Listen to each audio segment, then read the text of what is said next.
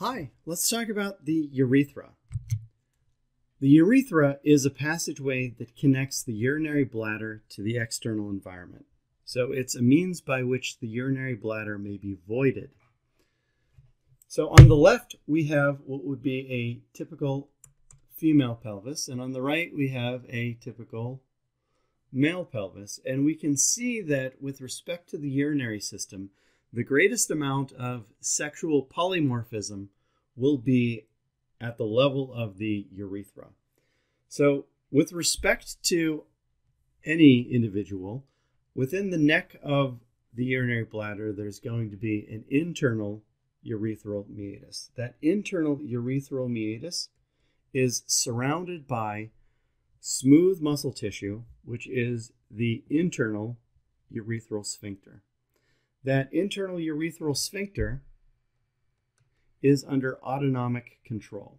So whenever baroreceptors within the wall of the urinary bladder are triggered, you know the uh, the response is going to be to relax that internal urethral sphincter.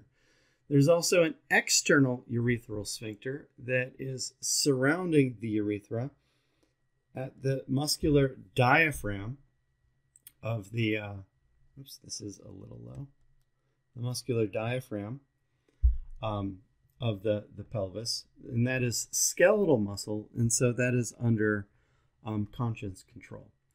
Um, so you'll see that the urethra is of various lengths and complexity, uh, depending upon sex.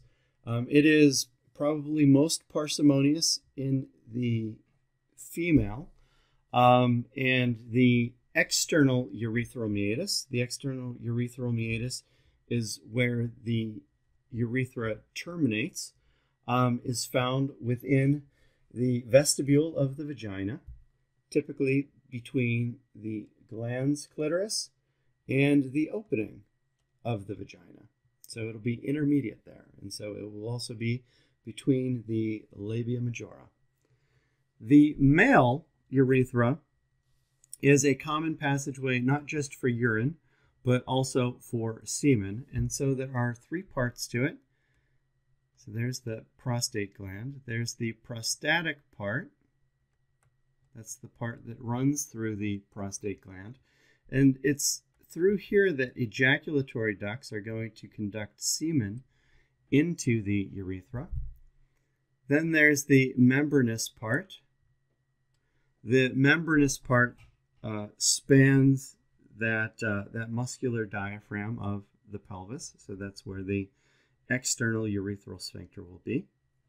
And then there's the spongy part, which is found in the corpus spongiosum of the penis. It's also referred to as the penile part of the urethra. And the external urethral meatus is going to terminate on the distal ventral portion of the glans penis. That glans penis is an expansion of the um, corpus spongiosum. So we have prostatic, membranous, and penile or spongy parts to the male urethra. Thank you very much for your time.